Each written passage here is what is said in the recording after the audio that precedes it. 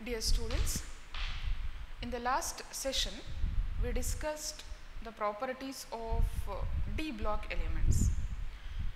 In this session, we'll consider the few properties of F block elements. Okay? So here we are discussing only few aspects, few atomic properties of F block elements.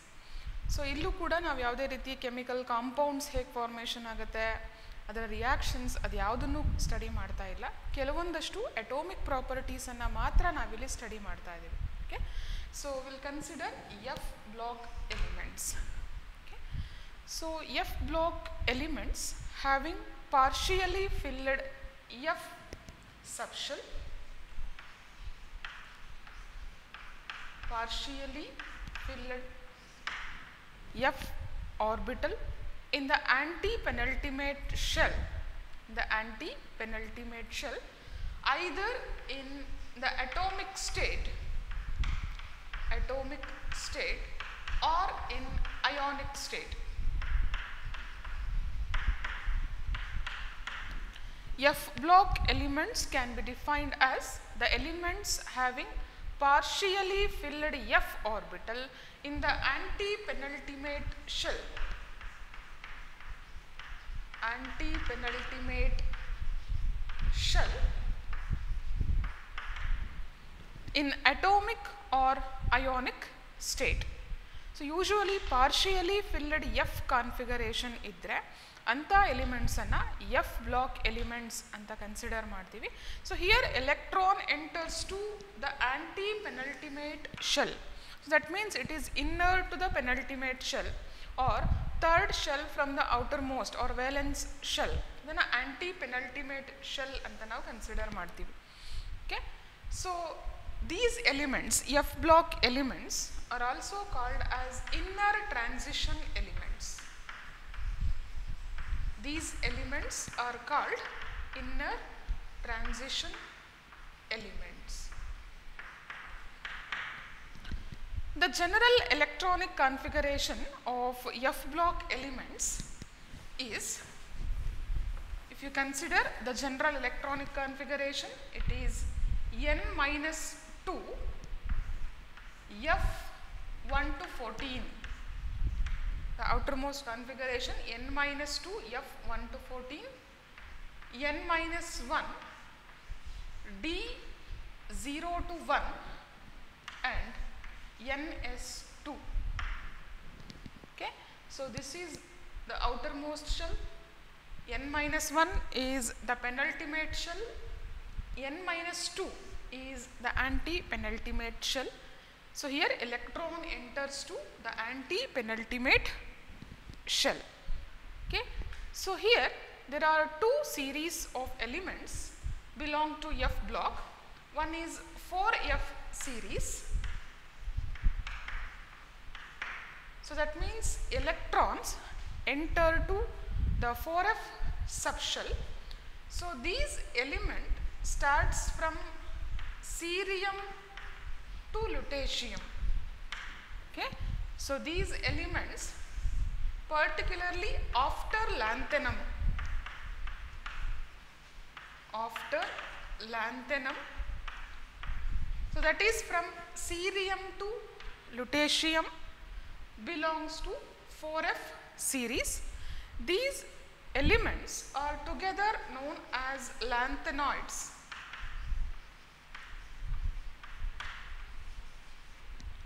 lanthanoids.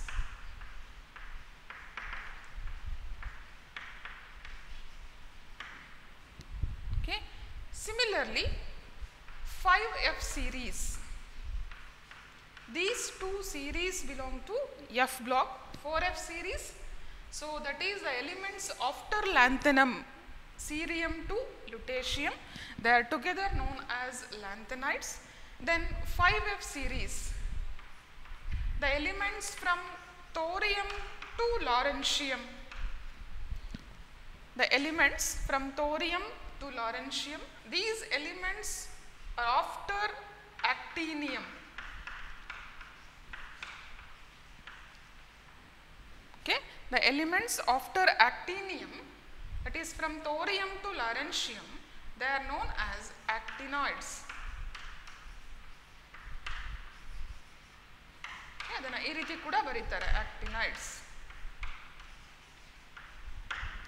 okay so therefore f block elements contain two series of elements one is lanthanides and another one is actinides okay these two elements or these two series are placed separately in the periodic table. Periodic table ಅಲ್ಲಿ D block elements ಕೆಳಗಡೆ lanthanides ಮತ್ತು ಆಕ್ಟಿನೈಡ್ಸ್ ಅನ್ನ place ಮಾಡಿದ್ದಾರೆ. So ಈಗ ನಾವು ಇಲ್ಲಿ consider ಮಾಡ್ತಾ ಇರೋದು ಬರೀ ಲ್ಯಾಂಥನೈಡ್ಸ್ ಮಾತ್ರ. ಓಕೆ ಸೊ ಅಂದರೆ ಲ್ಯಾಂಥನೈಡ್ಸಲ್ಲಿ ಕೆಲವೊಂದಷ್ಟು ಪ್ರಾಪರ್ಟೀಸನ್ನು ಮಾತ್ರ ನಾವೀಗ ಸ್ಟಡಿ ಮಾಡ್ತಾ ಇದ್ದೀವಿ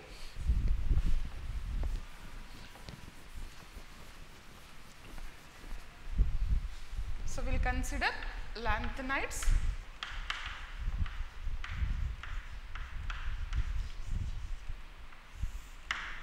okay the elements after lanthanum are called lanthanides so usually lanthanides element is cerium to lutetium. Cerium to Adre, ಆದರೆ ನಾವು ಪ್ಲೇಸ್ ಮಾಡಬೇಕಾದ್ರೆ ಪ್ರಾಪರ್ಟಿ ವೈಸ್ ಪ್ಲೇಸ್ ಮಾಡೋದ್ರಿಂದ ನಾವು ಲ್ಯಾಂಥನಮ್ನ ಕೂಡ ಲ್ಯಾಂಥನೈಟ್ಸಲ್ಲಿ ಇನ್ಕ್ಲೂಡ್ ಮಾಡ್ತೀವಿ. ಕರೆಕ್ಟಾಗಿ ಅರ್ಥ ಮಾಡ್ಕೊಳ್ಳಿ. Lanthanum is a D block element the elements after lanthanum there is a filling up of four F subshell so ಹಾಗಾಗಿ after lanthanum cerium to lutetium ಏನಿದೆ, ಅದನ್ನು ನಾವು ಲ್ಯಾಂಥನೈಟ್ಸ್ ಅಂತ ಕನ್ಸಿಡರ್ ಮಾಡ್ತೀವಿ. ಬಟ್ ಎಲಿಮೆಂಟ್ಸನ್ನು ಪ್ಲೇಸ್ ಮಾಡಬೇಕಾದ್ರೆ ಅಕಾರ್ಡಿಂಗ್ ಟು ಪ್ರಾಪರ್ಟಿ ವೈಸ್ ನಾವು ಲ್ಯಾಂಥನಮ್ನ ಕೂಡ ಲ್ಯಾಂಥನೈಟ್ಸ್ ಅಲ್ಲಿ ಇನ್ಕ್ಲೂಡ್ ಮಾಡಿದ್ದೀವಿ lanthanum cerium up to lutetium okay so these elements are also called as rare earths because of their least abundance they are rarely found therefore they are known as rare earths all these elements have similar properties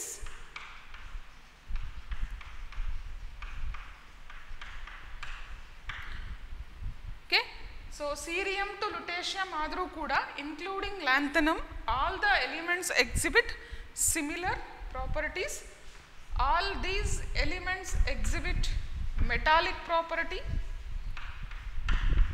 all these are metals all these are non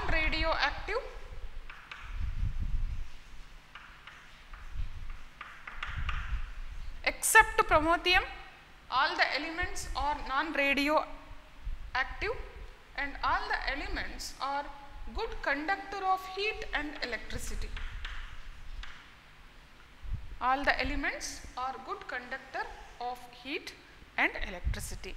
So now we'll consider the electronic configuration of lanthanides. Here we are considering only the general electronic configuration of lanthanides. The general electronic configuration of lanthanides is, we'll consider electronic configuration.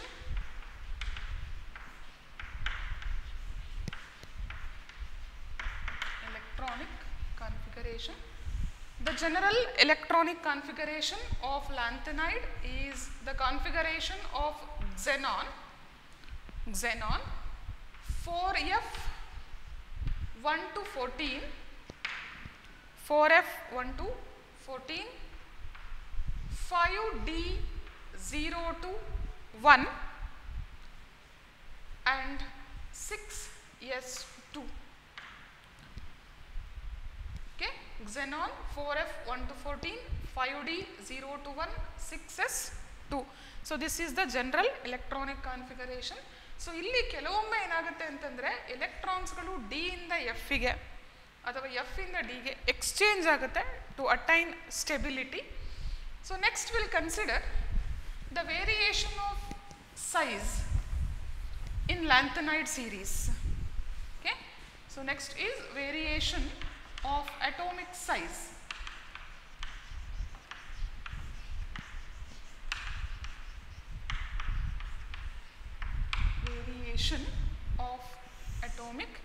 variation of atomic size. So this is very important for your examination. ಇಲ್ಲಿ ನಾವು main ಆಗಿ consider ಮಾಡ್ತಾ ಇರೋದೇ variation of atomic size atomic size means atomic radius it is atomic radii or ionic radii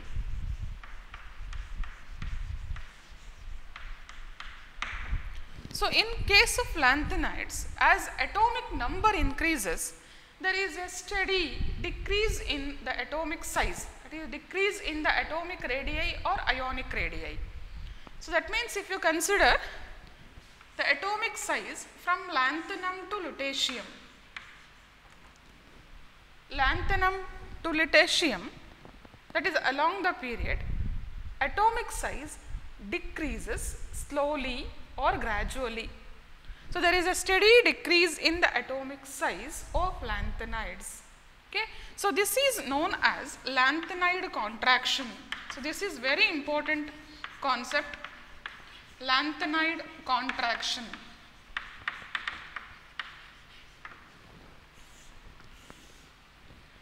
So usually ಏನಾಗುತ್ತೆ ಯಾವುದೇ ಒಂದು period consider ಮಾಡಿದರೆ along the period atomic size decreases ಎಲ್ಲ ಪೀರಿಯಡಲ್ಲೂ ಕೂಡ ನಮ್ಗೆ ಆಲ್ರೆಡಿ ಗೊತ್ತಿದೆ, ನಾವು ಫಸ್ಟ್ ಇಯರ್ ಪಿ ಯು ಸಿಯಿಂದನೂ ಸ್ಟಡಿ ಮಾಡ್ಕೊಂಡು ಬಂದಿದ್ದೀವಿ along the period atomic size decreases so but ಇಲ್ಲಿ ಏನಾಗುತ್ತೆ ಅಂತಂದರೆ from lanthanum to lutetium there is a small decrease in the atomic size ಈಗ ಯೂಶ್ವಲಿ ನೀವು ಯಾವುದಾದ್ರೂ ಒಂದು ಗ್ರೂಪನ್ನು ಕನ್ಸಿಡರ್ ಮಾಡಿದರೆ ಫಾರ್ ಎಕ್ಸಾಂಪಲ್ ಈಗ ಲೀಥಿಯಮ್ ನಾವು lithium next beryllium boron carbon, nitrogen, oxygen, fluorine, neon. ಇಲ್ಲಿ ನಾವು ಅಲಾಂಗ್ ದ ಪೀರಿಯಡ್ ಎಲಿಮೆಂಟ್ಸನ್ನು ಕನ್ಸಿಡರ್ ಮಾಡಿದರೆ of course there is a decrease in atomic size okay ಇಲ್ಲಿ ಡಿಕ್ರೀಸ್ ಎಷ್ಟಾಗುತ್ತೆ ಅಂತಂದರೆ from lithium to neon almost eighty picometer ಅಷ್ಟು size decrease ಆಗುತ್ತೆ. Okay ಆದರೆ ಲ್ಯಾಂಥನಮ್ ಟು ಲುಟೇಷಿಯಮ್ ನಾವು ಕನ್ಸಿಡರ್ ಮಾಡಿದರೆ so there is a small decrease it is around only fifteen picometer okay ಇಲ್ಲಿ ಒಂದು eighty two eighty seven picometer ಅಷ್ಟು size decrease ಆಗುತ್ತೆ. ನೀವು ಯಾವುದೇ ಪೀರಿಯಡನ್ನು ಅಬ್ಸರ್ವ್ ಮಾಡಿದರೂ ಸೈಜ್ ಡಿಕ್ರೀಸ್ ಆಗುತ್ತೆ. ಬಟ್ ಇಲ್ಲೂ ಕೂಡ ಅಟೋಮಿಕ್ ಸೈಜ್ ಡಿಕ್ರೀಸ್ ಆಗುತ್ತೆ. Okay the decrease in magnitude is very less it is only fifteen picometer ಅಂದರೆ ಏನಾಯಿತು? From lanthanum to lutetium for each element there is a decrease in size by one unit ಅಂದರೆ lanthanum to ಲುಟೇಷಿಯಮ್ ಅಂದರೆ almost fifteen elements ಆಗುತ್ತೆ ಆ fifteen ಎಲಿಮೆಂಟ್ಸಿಗೆ fifteen picometre ಅಷ್ಟು size decrease ಆಗಿದೆ ಅಂತಂದರೆ ಪ್ರತಿ ಎಲಿಮೆಂಟಿಗೆ ಒನ್ ಪೈಕೋಮೀಟರ್ ಅಷ್ಟು ಮಾತ್ರ ಸೈಜ್ ಡಿಕ್ರೀಸ್ ಆಗುತ್ತೆ so this slow or steady decrease in the atomic radii and ionic radii of lanthanides with increase in atomic number is called lanthanide contraction. So this definition is very important. Okay. Usually lanthanides ಅಲ್ಲಿ ಇದು common question what is lanthanide contraction or what is the reason for lanthanide contraction and what are the consequences of lanthanide contraction. So here it comes three concepts. Okay, very important concept. So one is what is lanthanide contraction what is the cause for lanthanide contraction and what are the consequences of lanthanide contraction? Okay. So first we'll consider the definition of lanthanide contraction. Okay. Lanthanide contraction is defined as the steady decrease steady or slow decrease in the atomic radii atomic radii and ionic radii ionic radii of lanthanides of lanthanoids with increase in atomic number.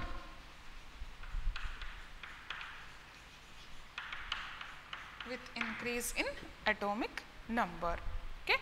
So of course as atomic number increases atomic size decreases but here there is a steady decrease in the atomic size or steady contraction in the atomic size that is known as lanthanide contraction okay so it is defined as the steady decrease in the atomic radii and ionic radii of lanthanides with increase in the atomic atomic number okay So now we'll consider what is the reason for lanthanide contraction.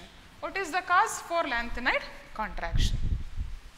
So usually ಏನಾಗುತ್ತೆ ಅಂತಂದರೆ from lanthanum to lutetium atomic number increases so as atomic number increases effective nuclear charge increases okay ನಾವೆಲ್ಲದರಲ್ಲೂ ಕೂಡ ಇದನ್ನೇ consider ಮಾಡ್ತೀವಿ. ಈಗ lanthanum next ಬರೋದು ಸೀರಿಯಮ್ okay so ಅದೇ ರೀತಿ series continue ಆಗ್ತಾ ಹೋಗುತ್ತೆ up to lutetium up to lutetium okay so ಈಗ ಲ್ಯಾಂಥನಮ್ಮಿಂದ ಸೀರಿಯಮ್ಗೆ ನಾವು ಕನ್ಸಿಡರ್ ಮಾಡಿದರೆ so atomic number increases by one unit so that means effective nuclear charge increases by unity that means by one unit okay ಇಲ್ಲಿಂದ ಇಲ್ಲಿಗೆ atomic number increase ಆಯಿತು. Atomic number increase ಆಯಿತು ಅಂತಂದರೆ ಪ್ರೋಟಾನ್ ಕೂಡ ಜಾಸ್ತಿ ಆಯಿತು. Therefore effective nuclear charge increases by 1 unit. But 4f electrons have very poor shielding effect. ಈ ಕಾನ್ಸೆಪ್ಟನ್ನು ಕರೆಕ್ಟಾಗಿ ಅರ್ಥ ಮಾಡ್ಕೊಳ್ಳಿ ಇಲ್ಲಿ ಕಾನ್ಫಿಗರೇಷನ್ ಬರೀಬೇಕಾದ್ರೆ ನಾವೇನು ಬರಿತೀವಿ four f one to fourteen one to fourteen five d zero to one and six s two so this is the configuration okay so that means here electron enters to the 4f subshell so electron 4f subshell ಗೆ enter ಆಗ್ತಾ ಇದೆ so but due to the shape of f orbital it has very poor shielding effect okay that means here the increase in effective nuclear charge is slightly more than the increase in the shielding effect Okay so usually ನಾವು shielding effect consider ಮಾಡಬೇಕಾದ್ರೆ D ಮತ್ತು F ಆರ್ಬಿಟಲಿಗೆ shielding effect ತುಂಬ ಕಡಿಮೆ ಇರುತ್ತೆ. Poor ಶೀಲ್ಡರ್ಸ್ ಅಂತ ನಾವು consider ಮಾಡ್ತೀವಿ. ಇಲ್ಲಿ ಎಫ್ ಎಲೆಕ್ಟ್ರಾನ್ಸ್ಗಳು ಜಾಸ್ತಿ ಆಗ್ತಾ ಹೋದರೂ ಕೂಡ ಶೀಲ್ಡಿಂಗ್ ಎಫೆಕ್ಟ್ ಕಡಿಮೆ ಇರೋದ್ರಿಂದ the atomic size decreases okay ಇನ್ನೂ ಕರೆಕ್ಟಾಗಿ ಅರ್ಥ ಆಗಬೇಕು ಅಂತಂದರೆ ಸಪೋಸ್ ಇದನ್ನು ನೀವು ನ್ಯೂಕ್ಲಿಯಸ್ ಅಂತ ಕನ್ಸಿಡರ್ ಮಾಡಿದರೆ will consider this as a four F ಇದು ಆ್ಯಂಟಿ ಪೆನಲ್ಟಿಮೇಟ್ ಶೆಲ್ ಅಂತ ಅಂದ್ಕೊಳ್ಳೋಣ so this is five D and this is valence shell six S ಅಂತ ಕನ್ಸಿಡರ್ ಮಾಡೋಣ. ಓಕೆ ಸೊ ನಾವು the electron is entering into four F subshell ಒಂದು electron ಇಲ್ಲಿಗೆ enter ಆಯಿತು ಅಂತ ಅಂದ್ಕೊಳ್ಳೋಣ okay ಅದೇ ರೀತಿ ಏನಾಯಿತು? ಎಲೆಕ್ಟ್ರಾನ್ ಜಾಸ್ತಿ ಆಗಿದೆ ಅಂತಂದರೆ ಇಲ್ಲಿ ಪ್ರೋಟಾನ್ಗಳು ಕೂಡ ಜಾಸ್ತಿ ಆಗುತ್ತೆ. ಒಂದು ಎಲೆಕ್ಟ್ರಾನ್ ಜಾಸ್ತಿ ಆದರೆ ಒಂದು ಪ್ರೋಟಾನ್ ಜಾಸ್ತಿ ಆಯಿತು. Therefore effective nuclear charge increases okay? So ಆದರೆ ಎಫ್ ಎಲೆಕ್ಟ್ರಾನಿಗೆ ನಾವು ಎಕ್ಸ್ಪೆಕ್ಟ್ ಮಾಡಿದಷ್ಟು ಶೀಲ್ಡಿಂಗ್ ಮಾಡಲಿಕ್ಕಾಗಲ್ಲ ಅಥವಾ ಶೀಲ್ಡ್ ಮಾಡಲಿಕ್ಕೆ ಆಗಲ್ಲ ಔಟರ್ ಎಲೆಕ್ಟ್ರಾನ್ಸನ್ನು ಸೊ ಹಾಗಾಗಿ ಏನಾಯಿತು? ಈ ಎಫೆಕ್ಟಿವ್ ನ್ಯೂಕ್ಲಿಯರ್ ಚಾರ್ಜ್ ಜಾಸ್ತಿ ಇರೋದ್ರಿಂದ ಸ್ವಲ್ಪ ಎಲೆಕ್ಟ್ರಾನ್ ಕ್ಲೌಡ್ ಶ್ರಿಂಕ್ ಆಗುತ್ತೆ. ಓಕೆ? ಸೊ ಹಾಗಾಗಿ due to the shrinkage of electron cloud the atomic radius decreases okay? So what is the cause for lanthanide contraction so that means as atomic number increases effective nuclear charge increases but the effective increase in effective nuclear charge is more than the increase in shielding effect of f electrons because f electrons are poor f electrons have poor shielding effect okay so therefore atomic size gradually decreases almost one unit ಅಷ್ಟು decrease ಆಗ್ತಾ ಹೋಗುತ್ತೆ ಅದನ್ನು ನಾವು lanthanide contraction ಅಂತ consider ಮಾಡ್ತೀವಿ okay ಕರೆಕ್ಟಾಗಿ ಅರ್ಥ ಮಾಡ್ಕೊಳ್ಳಿ. ಸೊ ಫೋರ್ ಎಫ್ ಎಲೆಕ್ಟ್ರಾನ್ಸ್ಗೆ ಶೀಲ್ಡಿಂಗ್ ಎಫೆಕ್ಟ್ ಕಡಿಮೆ ಇರೋದ್ರಿಂದ ಎಫೆಕ್ಟಿವ್ ನ್ಯೂಕ್ಲಿಯರ್ ಚಾರ್ಜ್ ಜಾಸ್ತಿ ಆಗ್ತಾ ಹೋದ ಹಾಗೆ ಈ ಎಲೆಕ್ಟ್ರಾನ್ಸನ್ನು ಅಂದರೆ ವೇಲೆನ್ಸ್ ಎಲೆಕ್ಟ್ರಾನ್ಸನ್ನು ಜಾಸ್ತಿ ಅಟ್ರ್ಯಾಕ್ಟ್ ಮಾಡುತ್ತೆ. ಸೊ ಹಾಗಾಗಿ ಸೈಜ್ ಡಿಕ್ರೀಸ್ ಆಗ್ತಾ ಹೋಗುತ್ತೆ. ಇದೇ ನಾವೇನು ಕನ್ಸಿಡರ್ ಮಾಡಿದ್ವಿ? ಟ್ರಾನ್ಸಿಷನ್ ಎಲಿಮೆಂಟ್ಸ್ ಹೇಳಬೇಕಾದ್ರೆ ಫಸ್ಟು ಅಟೋಮಿಕ್ ಸೈಜ್ ಡಿಕ್ರೀಸ್ ಆಗುತ್ತೆ ಆಲ್ಮೋಸ್ಟ್ ಕಾನ್ಸ್ಟೆಂಟ್ ಆಗುತ್ತೆ ನೆಕ್ಸ್ಟ್ ಇನ್ಕ್ರೀಸ್ ಆಗುತ್ತೆ ಅಂತ ನಾವು ಕನ್ಸಿಡರ್ ಮಾಡಿದ್ದೀವಿ ಆದರೆ ಇಲ್ಲಿ ಆ ರೀತಿ ಆಗಲ್ಲ due to the poor shielding effect the atomic size gradually decreases that is known as lanthanide contraction okay so ಈಗ ಎರಡು ಕಾನ್ಸೆಪ್ಟ್ಗಳು ಒಂದು ಲ್ಯಾಂಥನೈಡ್ ಕಾಂಟ್ರಾಕ್ಷನ್ ಅಂದರೆ ಏನು? And second thing is what is the cause for lanthanide contraction suppose ಎಕ್ಸಾಮಲ್ಲಿ ಕೇಳಿದರೆ ನೀವು ಇಷ್ಟೇ ಬರೆದ್ರೆ ಸಾಕು the cause for lanthanide contraction is the electron enters to the same four f subshell as a result effective nuclear charge increases Due to the poor shielding effect of F electron, the increase in effective nuclear charge is more than the increase in shielding effect. So, therefore, there is a decrease in the atomic size. Okay? ಅದನ್ನು ನಾವು lanthanide contraction ಅಂತ consider ಮಾಡ್ತೀವಿ and another important thing is what are the consequences of lanthanide contraction Okay, next we'll consider the consequences of consequences of lanthanide contraction.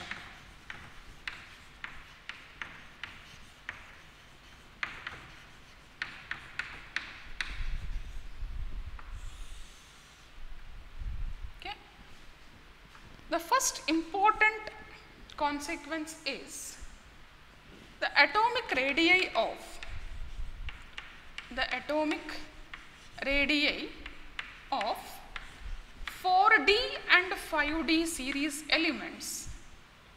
Atomic radii of 4D and 5D series elements are almost same.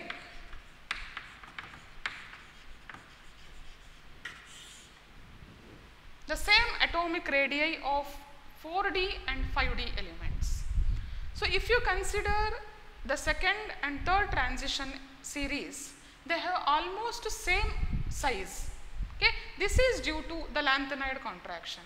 ಅಂದರೆ ಈಗ first transition ಸೀರೀಸನ್ನು ನೀವು consider ಮಾಡಿದರೆ first transition series ಅಂದರೆ three D series elements ನಾವು already consider ಮಾಡಿದ್ದೀವಿ So first element is scandium, second element is titanium then vanadium up to zinc consider ಮಾಡಿದ್ದೀವಿ okay similarly second transition element that is four d series elements so four d series element starts from yttrium so then zirconium then niobium like this okay next third transition elements it is known as 5d series elements Okay so 5d series element starts from lanthanum.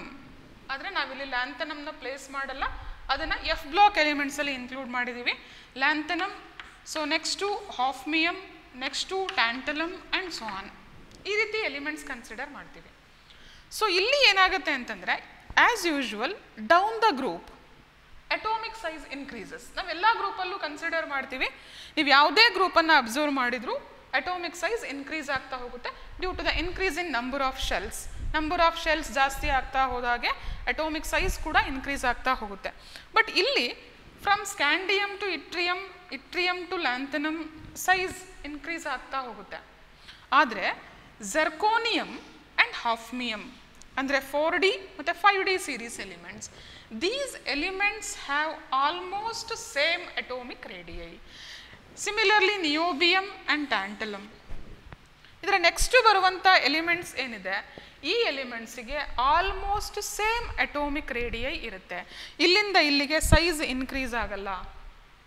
Okay so this is due to the lanthanide contraction ಯಾಕೆ lanthanide contraction ಅಂತಂದರೆ, ಇಲ್ಲಿ ಹಾಫ್ಮಿಯಮ್ ಮೊದಲು lanthanum ಇದೆ. Okay so lanthanum atomic number is fifty seven fifty ಸೆವೆನಿಂದ seventy one ತನಕ fifty ಸೆವೆನಿಂದ seventy one ತನಕ ನಾವು lanthanides ಅಂತ ಕನ್ಸಿಡರ್ ಮಾಡ್ತೀವಿ. ಸೆವೆಂಟಿ ಟೂ ಇಂದ ನೆಕ್ಸ್ಟು ಡಿ ಸಬ್ಶೆಲ್ ಫಿಲ್ ಆಗುತ್ತೆ. ಇದನ್ನು ಪೋಸ್ಟ್ ಲ್ಯಾಂಥನೈಡ್ಸ್ ಅಂತ ಕನ್ಸಿಡರ್ ಮಾಡ್ತಾರೆ. Okay the elements after lanthanum so these elements are called post lanthanides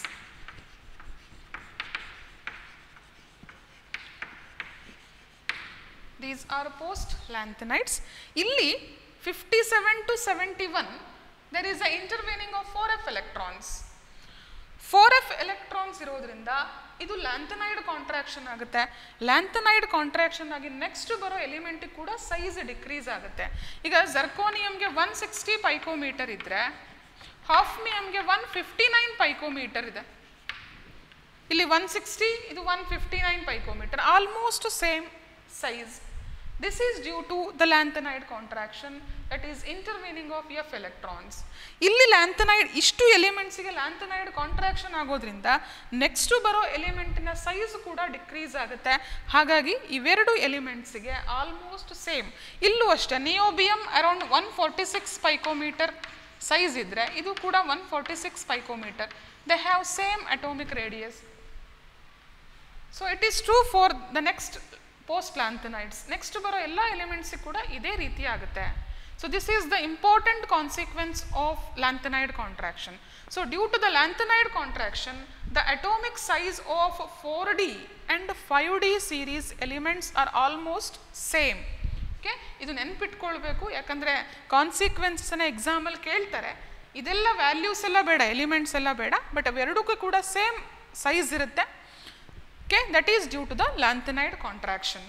And the second important consequence is second one 5d series elements 5d series elements have very much high density high density than 4d series element so this is also important consequence of the lanthanide contraction. 5D series elements ಏನಿದೆ, ಅದಕ್ಕೆ four D series ಎಲಿಮೆಂಟ್ಗಿಂತ ಜಾಸ್ತಿ density ಇರುತ್ತೆ. Almost double density double ಅಷ್ಟು increase ಆಗುತ್ತೆ. This is due to the lanthanide contraction okay ಹೇಗೆ ಅಂತಂದರೆ, ಈಗ ಸಪೋಸ್ ಇವೇ ಎರಡು ಎಲಿಮೆಂಟನ್ನು ನಾವು ಕನ್ಸಿಡರ್ ಮಾಡಿದರೆ ಜರ್ಕೋನಿಯಂ ಮತ್ತು ಹಾಫ್ಮಿಯಮ್ ಅನ್ನು ಕನ್ಸಿಡರ್ ಮಾಡೋಣ. ಸೊ ಇಲ್ಲಿ ಸೈಜ್ ಒನ್ ಸಿಕ್ಸ್ಟಿ ಪೈಕೋಮೀಟರ್ ಇದೆ. ಇದರಲ್ಲಿ size one fifty nine picometer ಇದೆ. ಓಕೆ ಸೊ ಯೂಶ್ವಲಿ ಏನಾಗುತ್ತೆ? Zirconium to hafnium down the group ಅಂತಂದರೆ ಅಟೋಮಿಕ್ ನಂಬರ್ ಜಾಸ್ತಿ ಆಗುತ್ತೆ. ಅಟೋಮಿಕ್ ಮಾಸ್ ಕೂಡ ಜಾಸ್ತಿ ಆಗುತ್ತೆ. ಓಕೆ ಮಾಸ್ ಜಾಸ್ತಿ ಆಗುತ್ತೆ. ಬಟ್ ಸೈಜ್ ಆಲ್ಮೋಸ್ಟ್ ಸೇಮ್ ಇದೆ. ಅರ್ಥ ಮಾಡ್ಕೊಳ್ಳಿ. ನಾವು ಡೆನ್ಸಿಟಿ ಕನ್ಸಿಡರ್ ಮಾಡಬೇಕಾದ್ರೆ density is equal to mass divided by volume ಅಂತ ಹೇಳ್ತೀವಿ. ಸೊ ಇಲ್ಲಿ zirconium to hafnium atomic mass increase ಆಯಿತು. ಆದರೆ ಸೈಜ್ ಸೇಮ್ ಇದೆ. ಅಂದರೆ volume almost same so size same ಇರೋದ್ರಿಂದ ಮಾಸ್ ಇನ್ಕ್ರೀಸ್ ಆಗುತ್ತೆ ಅದಕ್ಕೆ ಡೆನ್ಸಿಟಿ ಕೂಡ ಜಾಸ್ತಿ ಆಗುತ್ತೆ. Okay so five D series elements have very much higher density than 4D elements. So, this is also due to the lanthanide contraction. Okay. So, atomic mass increase ಆಗುತ್ತೆ but volume increase ಆಗೋದಿಲ್ಲ ಹಾಗಾಗಿ density ಜಾಸ್ತಿ ಆಗುತ್ತೆ okay therefore 5d series elements have almost double the density of 4d series elements and one more important consequence of lanthanide contraction Okay, third one, the basic strength, the basic strength of hydroxides, hydroxides of lanthanides, lanthanoids decreases from lanthanum to lutetium. Okay. All the elements from lanthanum to lutetium they form hydroxides. Hydroxide is usually in the plus 3 oxidation state. Okay. ಅಂದರೆ plus three oxidation state ಆದರೆ ಅದನ್ನು ಈ ರೀತಿ consider ಮಾಡ್ತೀವಿ lanthanum Okay. Hydroxide okay ಅದೇ ರೀತಿ ಎಲ್ಲ ಎಲಿಮೆಂಟ್ಸ್ಗಳು ಅಪ್ ಟು ಲುಟೇಷಿಯಂವರೆಗೆ ಲುಟೇಷಿಯಂ ಹೈಡ್ರಾಕ್ಸೈಡ್ಸ್ ಎಲ್ಲದೂ ಕೂಡ ಟ್ರೈ ಹೈಡ್ರಾಕ್ಸೈಡ್ಸನ್ನು ಫಾರ್ಮೇಷನ್ ಮಾಡುತ್ತೆ. ಆದರೆ ಎಲ್ಲದಕ್ಕೂ ಒಂದೇ ರೀತಿಯ ಬೇಸಿಕ್ ನೇಚರ್ ಇರಲ್ಲ. Okay these hydroxides are basic in nature but the basic nature decreases from lanthanum to lutetium okay ಅಂದರೆ ನೀವೀಗ ಲ್ಯಾಂಥನಮ್ ಹೈಡ್ರಾಕ್ಸೈಡ್ ಇದರ ನೆಕ್ಸ್ಟ್ ಬರೋದು ಸೀರಿಯಂ ಹೈಡ್ರಾಕ್ಸೈಡ್ ಈಗ ಇವೆರಡರ ಬೇಸಿಕ್ ಸ್ಟ್ರೆಂತನ್ನು ನೀವು ಕನ್ಸಿಡರ್ ಮಾಡಿದ್ರೆ lanthanum hydroxide is more basic than cerium hydroxide okay so this is due to the decrease in the ionic radii of cerium ಲ್ಯಾಂಥನಮ್ಮಿಂದ ಸೀರಿಯಮ್ಮಿಗೆ ಬರಬೇಕಾದ್ರೆ ಸೈಜ್ ಡಿಕ್ರೀಸ್ ಆಯಿತು. ಸೈಜ್ ಡಿಕ್ರೀಸ್ ಆಗ್ತಾ ಹೋದ ಹಾಗೆ ಈಗ ಯೂಶುವಲಿ ಇದನ್ನು ನಾವು ಮೆಟಲ್ ಅಂತ ಕನ್ಸಿಡರ್ ಮಾಡಿದರೆ ಈಗ ಎಂ ಓ ಹೆಚ್ ಬಾಂಡ್ ಇದೆ ಹೈಡ್ರಾಕ್ಸೈಡ್ಸಲ್ಲಿ ಓ ಎಚ್ ಬಾಂಡ್ಸ್ ಇದೆ. ಈಗ ಈ ಅಯೋನಿಕ್ ಸೈಜ್ ಡಿಕ್ರೀಸ್ ಆಗ್ತಾ ಹೋದ ಹಾಗೆ ಈ ಬಾಂಡ್ ಸ್ಟ್ರೆಂತ್ ಇನ್ಕ್ರೀಸ್ ಆಗ್ತಾ ಹೋಗುತ್ತೆ. ಸೊ ಹಾಗಾಗಿ the exhibit covalent nature basic character decrease ಆಗ್ತಾ ಹೋಗುತ್ತೆ. Okay so this is also the important consequence of lanthanide contraction the basic strength of hydroxide decreases from lanthanum hydroxide to lutetium hydroxide This is due to the decrease in size or decrease in ionic radii of lanthanides. Okay. Due to the decrease in ionic strength, ionic radii, bond strength decreases therefore basic nature decreases bond strength increase ಆಗ್ತಾ ಹೋದಾಗೆ hydroxide release ಮಾಡೋ capacity ಕಡಿಮೆ ಆಗ್ತಾ ಹೋಗುತ್ತೆ ಹಾಗಾಗಿ basic nature ಕೂಡ decrease ಆಗ್ತಾ ಹೋಗುತ್ತೆ. Okay so these are the three important consequences of lanthanide contraction okay ಇಲ್ಲಿ ಮೂರು ಕಾನ್ಸೆಪ್ಟನ್ನು ನೀವು ಕರೆಕ್ಟಾಗಿ ಅರ್ಥ ಮಾಡ್ಕೊಳ್ಬೇಕು. ಒಂದು what is lanthanide contraction what are the consequences of lanthanide contraction and what is the cause for lanthanide contraction ಮೂರು ಕೂಡ ಇಂಪಾರ್ಟೆಂಟ್ ಆಲ್ಮೋಸ್ಟ್ ಎವ್ರಿ ಇಯರ್ ಲ್ಯಾಂಥನೈಡ್ಸಲ್ಲಿ ಕೇಳೋ ಕಾಮನ್ ಕ್ವಶನ್ ಅಂತಂದರೆ lanthanide contraction causes and consequences okay so next will consider the oxidation state of lanthanides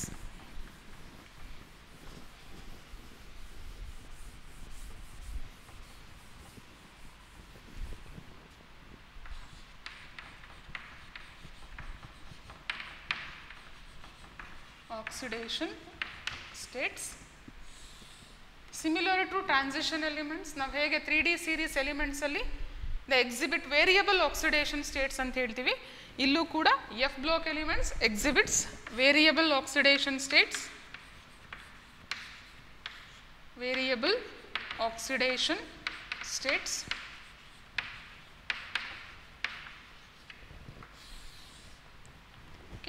This variable oxidation states is due to the less energy difference between 4f, 5d and 6s orbital. ಇಲ್ಲಿ energy difference ಕಡಿಮೆ ಇರೋದ್ರಿಂದ so ಹಾಗಾಗಿ bond ಫಾರ್ಮೇಷನಲ್ಲಿ six s five d and four f electrons ಎಲ್ಲದೂ ಕೂಡ involve ಆಗುತ್ತೆ. ಹಾಗಾಗಿ the exhibit variable oxidation state and among those the most common oxidation state is plus three okay so lanthanides ಎಲ್ಲದಕ್ಕೂ ಕೂಡ common oxidation state is plus three ಅದನ್ನು general ಆಗಿ ನಾವು L N plus three ಲ್ಯಾಂಥನೈಡ್ಸನ್ನು L N ಅಂತ denote ಮಾಡ್ತಾರೆ.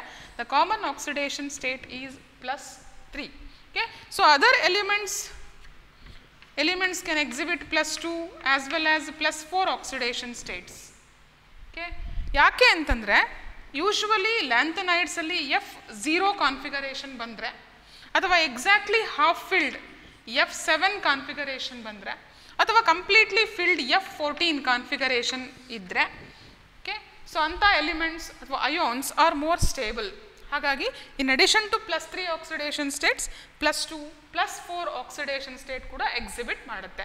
ಈಗ for example ನಾವು ಸೀರಿಯಂ ಎಲಿಮೆಂಟನ್ನು ಕನ್ಸಿಡರ್ ಮಾಡಿದರೆ, ಇದರ electronic configuration xenon 4f1 5d1 6s2 this is the electronic configuration.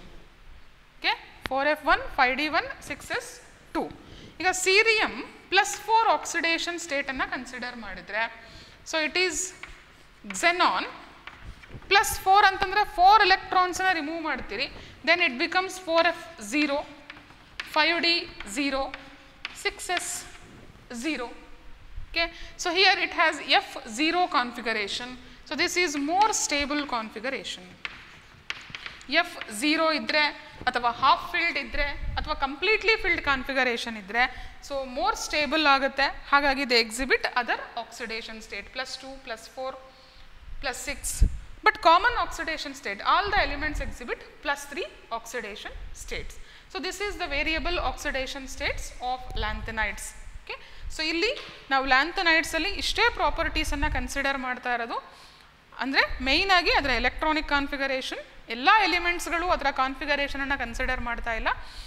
ಮೇಯ್ನಾಗಿ lanthanide contraction causes consequences and variable oxidation state so rest of the properties ಅಂದರೆ magnetic property ಇರ್ಬೋದು ಅಥವಾ ಕಲರ್ ಇರ್ಬೋದು, ಬೇರೆ ಎಲ್ಲ ಪ್ರಾಪರ್ಟೀಸ್ ಕೂಡ it is similar to the transition elements ಅದನ್ನು ಇಲ್ಲಿ ನಾವು ಡಿಟೇಲ್ ಆಗಿ ಡಿಸ್ಕಷನ್ ಮಾಡ್ತಾ ಇಲ್ಲ. ಸೊ ಎಫ್ ಬ್ಲಾಕ್ ಎಲಿಮೆಂಟ್ಸಲ್ಲಿ ಕನ್ಸಿಡರ್ ಮಾಡಿದ್ದು only the few atomic properties of lanthanides